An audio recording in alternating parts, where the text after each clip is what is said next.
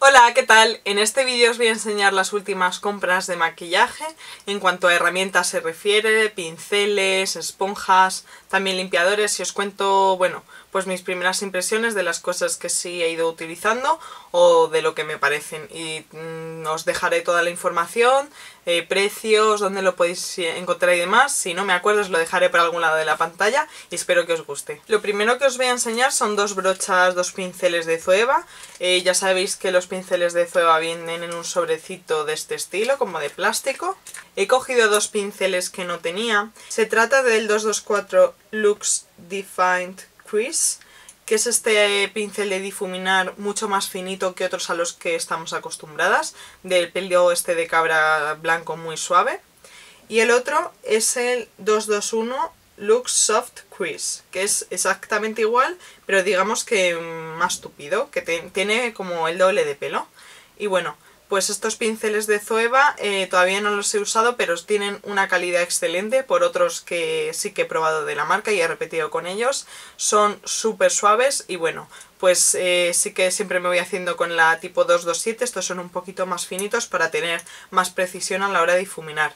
Y creo que tienen un precio de... antes eran 5,80, yo no sé si ahora rondan los 6-7 euros. Ahora os enseño tres pinceles de la marca Vendetta, que para las que seáis de Madrid las compré en una tienda así como de peluquería, maquillaje, cosmética, así como unos proveedores, no, ¿cómo se dice?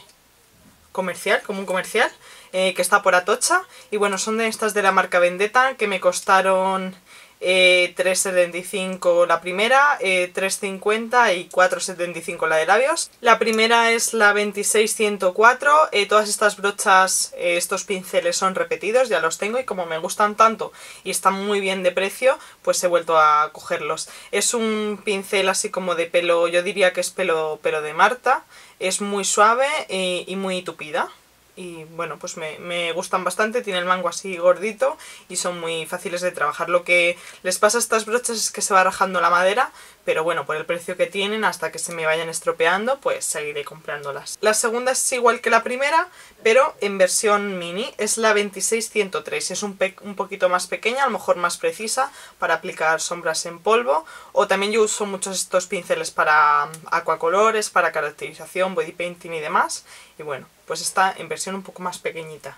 Y la de labios, que es la que es un poco mm, de precio más elevado, bueno, 4, 4 euros y medio, 4,70 euros, perdón, es la 26002 y también es la segunda que tengo. Tiene un acabado así como en flecha, en punta y es muy precisa y me gusta mucho. Y por el precio que tiene, pues bueno, eh, me hubiera cogido alguna más, pero como tengo otras tampoco es plan. De la página web de ayer eh, repetí con la marca Videlion Tools, la 776, que es como la típica difuminar, tipo 227 de Zoeva y de este estilo. Y bueno, me gusta incluso más que las de Zoeva porque esta me aguanta el pelo así como prieto más tiempo. Es esta de pelo blanco así sueltecito, de pelo de cabra, mm, para difuminar y eso es muy suave y, y creo que ronda unos 7 dólares o 8 dólares, algo así. De la misma marca me cogí la 716 que es esta que es como de sintética, acabada en punta, es como si fuera pues un tipo boli muy finito. Esta creo que es la vía sonorona y bueno, pues la he cogido para aplicar productos en, crema y difuminarlos así un poquito para difuminar el, un delineado lápiz o algo así. Y bueno, pues esta creo que me costó algo más barata.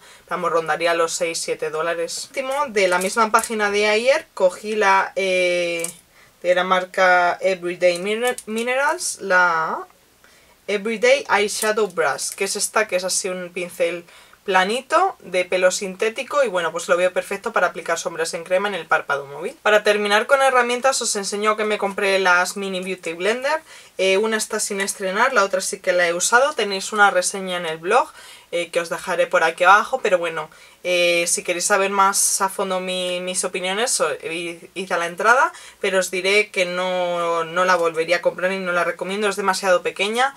ahora mismo la, os la enseño sin mojar, pero vamos, crece muy poquito y es demasiado blanda. Eh, no sé, ser tan pequeña es muy blanda y me parece que queda mucho mejor el corrector aplicado con los dedos y que esto es una pérdida de dinero y de, y de tiempo incluso. Y bueno, como compré este producto que es un limpiador de brochas, lo he querido meter en este vídeo. Es este de, de Makeup Revolution London, que es el Pro Higiene, Pro Hygiene, no sé cómo se dice esto, Antibacterial Brush Cleaner, ¿vale? Que es este, es así, trae 200 mililitros, te viene en formato spray y la verdad es que me funciona bastante bien, ya lo he usado y me hace un efecto muy parecido al de MAC. Yo no soy muy fan de, de este tipo de limpiadores porque yo al final las voy acumulando las brochas y las acabo limpiando con jabón y agua, pero bueno, para un apuro pues lo cogí y bueno, de momento me está dando bastante buen resultado. Y nada, estos han sido todos los productos que os enseño en este vídeo, no quiero hacer el vídeo muy largo, por eso voy a separar las distintas compras en distintos vídeos.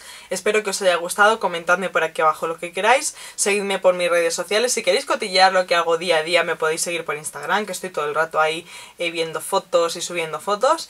Y nada, os mando un beso muy fuerte, no os olvidéis de darle a me gusta si os ha gustado el vídeo, suscribiros por aquí abajo y nos vemos en el próximo. Chao.